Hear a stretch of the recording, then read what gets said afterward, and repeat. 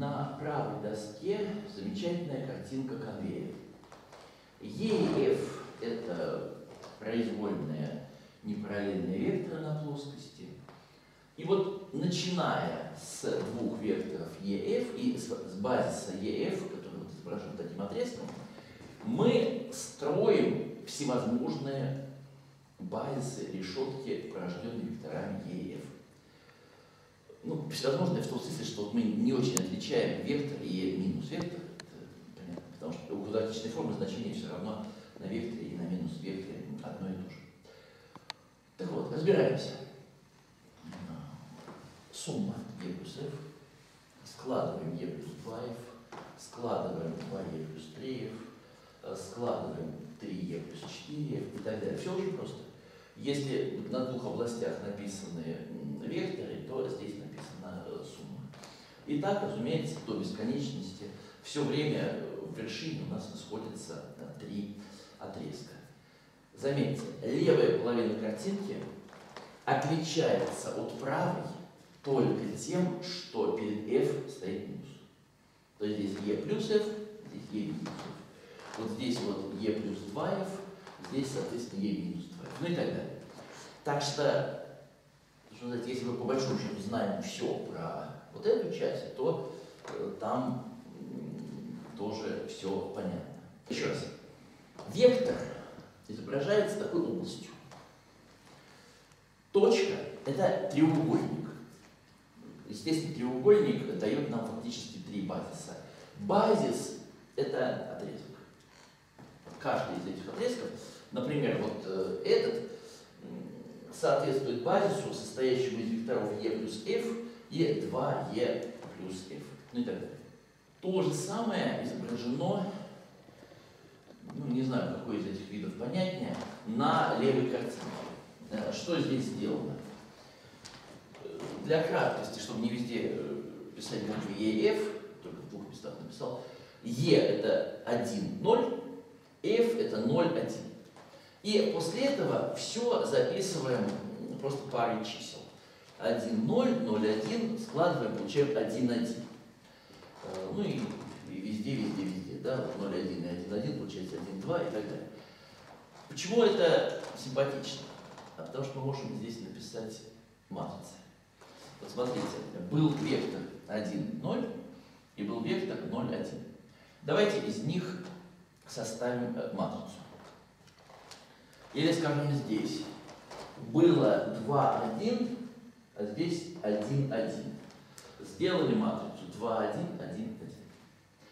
Давайте посмотрим, как получается следующая матрица из предыдущей. Ну, очень просто. Вот смотрите, у нас было 1, 1, 0, 1. Мы могли идти в одну сторону, могли в другую. Так вот, когда мы идем при движении, поворачиваем направо, то верхнюю строчку оставляем прежней, а нижнюю заменяем на сумму верхней и нижней. То есть 1,1 прибавляем 0,1, получаем 1,2. А когда мы идем вот, при движении отсюда налево, э, то наоборот, нижнюю строчку не меняем, а верхнюю заменяем на сумму бывшей верхней и скажем, была матрица 1, 1, 1, 2. Сюда получилось 1, 1, 2, 3. Понятно? 1, 1 осталось, 2, 3. 2 это 1 плюс 1, 3 это 1 плюс 2. Э, сюда пошли, наоборот, 1, 2 осталось, а вверх подскочили 2, 3. Ну и здесь вот то же самое. Было 2, 1, 1, 1. Стало здесь 3, 2, 1, 1, а здесь 2, 1 наоборот осталось, а внизу получилось 3,2 и так далее. Так вот, мы сейчас должны объяснить, почему эта абсолютно понятно устроенная схема, ну или вот то же самое, это на самом деле даст нам все базисы. Но потому что, конечно, замечательный процесс, но почему все? Или хотя бы для начала – а почему не будет цикла? Вот представьте себе, я начал с э, векторов и делаю, делаю, делаю, делаю, почему у меня никогда не произойдет зацикливание? Ну, на самом деле, конечно, очевидно, э, просто потому, что мы видим, что вот в э, правой половинке все коэффициенты положительные числа, и, что называется, чем дальше, тем больше. Да, сумма все время увеличивается коэффициентов, поэтому не вернемся. Но есть и другое объяснение, которое связано с квадратичными формами. Э, делаем так. Рассмотрим квадратичную форму, которая на векторах e, f и e плюс f равна единице. Есть такая квадратичная форма? Давайте вспоминаем. У нас там были формулы. Э, мы можем взять, э, вот здесь вот написать 1, 1 и 1. Можем? И квадратичная форма тогда получается такая. x квадрат минус xy плюс y квадрат. Есть? Есть. И давайте проследим за значениями этой квадратичной формы. Вот смотрите, если здесь один, здесь один и здесь один, а вы помните правило параллелограммы. Арифметическая прогрессия. Да? Арифметическая прогрессия. Числа, вот смотрите, в сумме, вот это число и вот это должны образовывать арифметическую прогрессию. Один, два, в арифметической прогрессии какое число идет дальше? Три. Три. Хорошо, три. Замечательно. Один, четыре. Что здесь? Семь. Семь. Так, чудесно. А здесь что? Один, два, три. Один, четыре, семь. Так, э, давайте дальше. Смотрите, что здесь? Три, восемь, то есть увеличилось на пять. И 8 плюс 5 сколько? 13. 13. Правда? Угу. Так вот, видно, что числа возрастают. Правда, надо как-то это доказать строго. Если честно, меня сейчас интересует вовсе не то, есть там цикл или нет, потому что может больше цикл, там, конечно, нет. А меня интересует вот эта вот замечательная идея, как увидеть все значения квадратичной формы, понять, что вот они при движении туда э, будут возрастать. Так вот, смотрите, давайте на ребре напишем разность арифметической прогрессии, поставив стрелочку э, в том направлении, в котором она возрастает. Ну вот здесь надо было привести 1, 1 плюс 1 это 2, 3. Значит, вот на этом ребре давайте напишем 1. На этом ребре тоже напишем 1.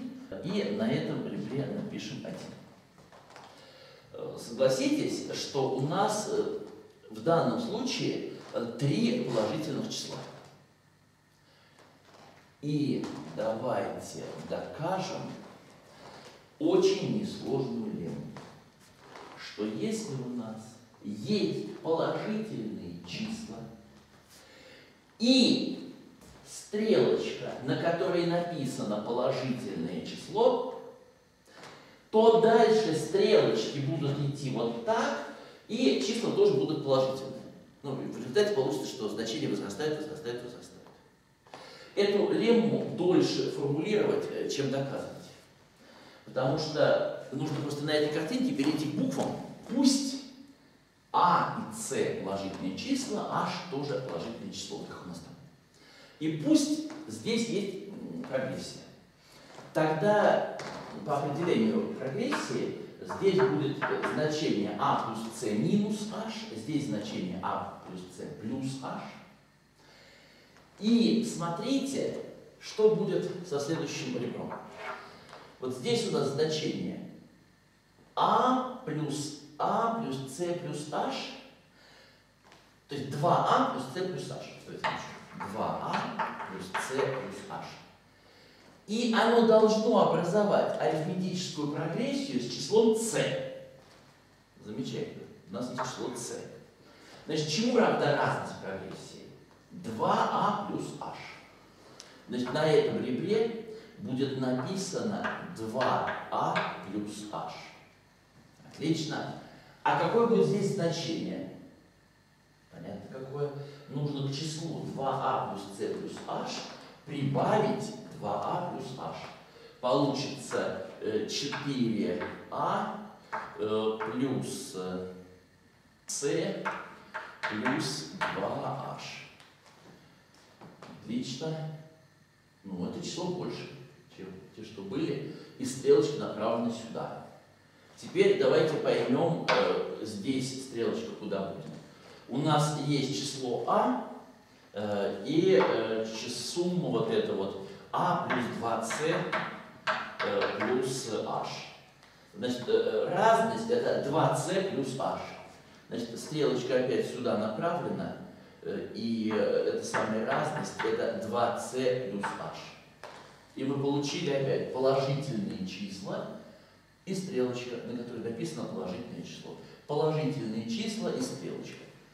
Таким образом, при движении э, от треугольника по базису к следующему треугольнику, к следующему, к следующему и так далее, наша квадратичная форма будет все время увеличивать свои значения. И таким образом зацикливание не произойдет никогда. Хорошо. Теперь следующий вопрос, тоже мгновенно получающийся э, отсюда.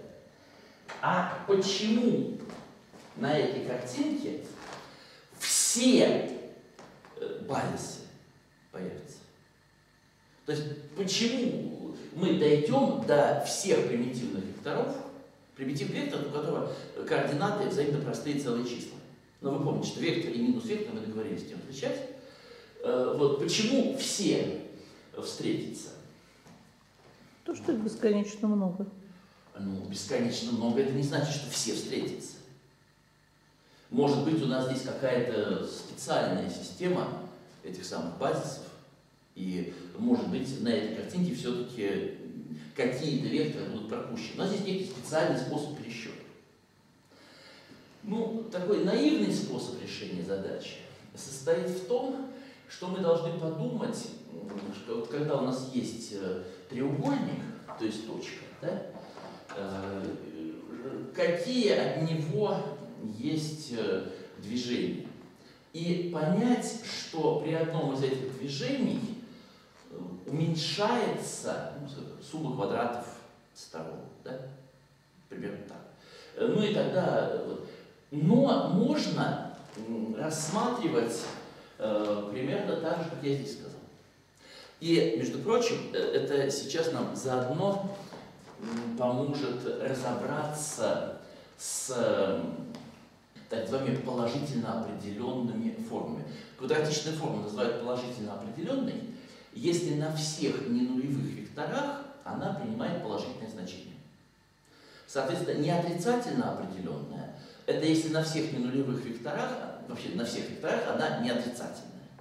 Понятно, да? Э, так вот, давайте предположим, что у нас есть какой-то ну, э, абсолютно, абсолютно, абсолютно э, произвольный треугольник. Вот, не здесь точка, да даже не на этой схеме, а в принципе треугольник составлен из примитивных векторов. Вот такой треугольник, может быть, ориентированы как-то будут векторы по-другому, но тем не менее такой треугольник э, где-то на картинке конвея обязательно встретится. Для того, чтобы это доказать, давайте сделаем так. Э, любой вектор плоскости, если у нас есть такой треугольник с примитивными векторами, э, как-то выражается через U и V. И, соответственно, мы можем рассмотреть квадратичную форму, которая задана следующим э, образом. Э, на векторах u, v э, и u плюс v она равна единице. Ну, разумеется, это будет форма, которая на любом э, векторе э, принимает, если он не 0, не 0 принимать натуральное значение.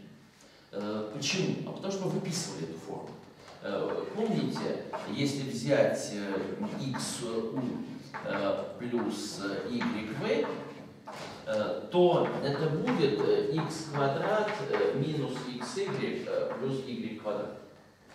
Вот если просто выделить полный квадрат, то это будет x минус y пополам в квадрате плюс 3 четвертых y квадрат. Если э, оба числа x и y в то это, конечно, 0, а вот если y не 0, то это уже не 0, э, или если x не 0, то, то тогда, чтобы это было нулем. В общем, видно, что действительно положительно определенное. То есть на всех нулевых векторах значение положительное. И вот такую форму посчитать на всех векторах, на всех примитивных векторах плоскости. В том числе на вот этих наших E, F и э, E плюс F. Получится какие-то значения. Давайте посмотрим на них. Вот у нас какие-то числа, как положено, А, С, Б. Э, должна быть по правилу параллелограмма арифметическая прогрессия. То есть, если вы рассматриваете числа b, a плюс c, э, и, то вот это число вместе с ними должно образовывать арифметическую прогрессию, и так в любом месте картинки. Замечательно. Давайте договоримся, ставить стрелочку, э, если разность арифметической прогрессии положительное число. И вот если здесь у нас h, и прогрессия возрастает в эту сторону, то здесь вот b минус 2h. То есть, э, смотрите, здесь были числа a, c, b, а здесь a, c, b минус 2h. То есть сумма уменьшилась. Так, двигаясь против стрелочек, мы рано или поздно, э, уменьшая вот эту самую сумму, э, придем к ситуации, когда против стрелочек двигаться нельзя. Попадем в некоторые узел нашей картинки, э, где стрелочки, куда не входит никакая стрелочка. Потому что если бы вот э, сюда входило, то мы бы, соответственно, перешли в этот узел, э, ну и так далее, и так далее, и так далее. Замечательно. Давайте назовем это место колодцем. Колодец устроен следующим образом. Э, выходят отрезки. Ну, я опять буду писать те же самые буквы А, С, В, но важно, э, что ни одна стрелочка сюда не входит. Это значит, что стрелочка может или выходить, ну или просто разность прогрессии равна нулю. Э, давайте сейчас сделаем так. Э, если 0, все равно нарисуем стрелочку э, и просто там напишем число 0. В таком случае у нас все три стрелки будут смотреть наружу, и на них будут написаны неотрицательные числа. Пишем. Ну, для красоты обозначений пусть здесь будет буква альфа, здесь гамма, здесь бета. Э, и альфа, бета, гамма больше или равны нуля. Мы сейчас увидим, какая есть очень простая связь между числами А, Б, С и числами альфа, бета, гамма. Ведь смотрите, когда вы движетесь от числа С к А плюс Б, то разность этой арифметической прогрессии равна гамма. Значит, а плюс b минус c это гамма. Точно так же а плюс c э, минус b это бета, э, и b плюс c минус а это у нас альфа. А из этой системы уравнений очень просто найти А, Б и С через альфа. Смотрите, складываем вот эти два уравнения, делим пополам. Получаем, что А Э, это бета плюс гамма пополам. B это альфа плюс гамма пополам, С это альфа плюс бета пополам. Теперь надо просто через эти альфа, бета, гамма выразить э, квадратичную форму. Один из способов просто подставить найденные значения и посмотреть. Э, если чуть-чуть подумать, то вы поймете, что это совершенно не нужно. И ответ можно сказать сразу. Но, э, в общем, давайте так, играем. Я считаю, а вы попытаетесь догадаться, какой будет ответ, называется, до того, как я это сделаю. Итак, бета плюс гамма пополам x квадрат, b минус а минус c, это на самом деле минус бета. Э, минус бета x, y, э, плюс альфа плюс бета пополам э, y квадрат. Ну, конечно, здесь нужно одну вторую вынести. И смотрите, что мы теперь сделаем. Мы отдельно напишем гамма x квадрат. Это не проблема. Отдельно напишем альфа y квадрат. И вот это бета x квадрат, ну здесь минус 2xy плюс бета y квадрат. То у нас будет бета умножить на x минус y э, в квадрате. Вот так. Ну, одна вторая, что-то не самое интересное. А вот то, что написано здесь, очень интересно. Альфа, бета и гамма не отрицательные числа. Значит, если нас интересует минимальная величина вот э, этого выражения, напоминаю, x, y это целые числа, то минимальную величину можно получить следующими э, способами. Вот они, три наименьших значения. Вместо x подставляешь единицу, вместо y 0. Вместо x подставляешь 0, вместо y единицу. И вместо x и y подставляешь единицу. Э, давайте подумаем, почему это действительно наименьшие значения.